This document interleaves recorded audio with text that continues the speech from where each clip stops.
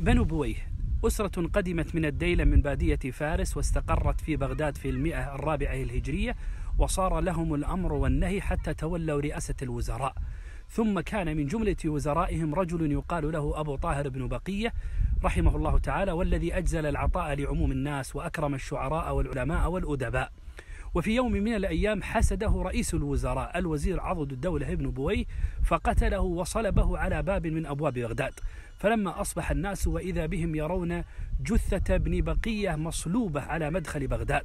فجاء الشاعر أبو الحسن بن الأنباري ورأى هذه الصورة المؤثرة هذه الجثة المعلقة في السماء وقد مدت اليدان كأنها تجزل للناس العطاء وكأن الناس حوله كأنهم يحضرون خطبة من خطبه وكأن النار التي أوقدت ليلا هي نار القرى وكأن الجيش الذين اجتمعوا حوله خوفا من ثورة مضادة كأنهم يحرسونه فقال علو في الحياة وفي الممات لحق أنت إحدى المعجزات كأن الناس حولك حين قاموا وفود نداك أيام الصلاة كأنك قائم فيهم خطيبا وكلهم قائم للصلاة.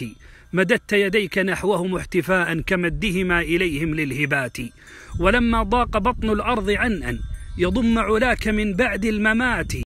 أصاروا الجو قبرك واستعاضوا عن الأكفان ثوب السافيات. لعظمك في النفوس بقيت ترعى بحفاظ وحراس ثقات. وتشعل عندك النيران ليلا كذلك كنت أيام الحياة. فلما سمع عضد الدولة بهذه الأبيات قال يا ليتني كنت أنا المصلوب وفي قيلت هذه الأبيات. فقيل ما حسد مصلوب مثل هذا.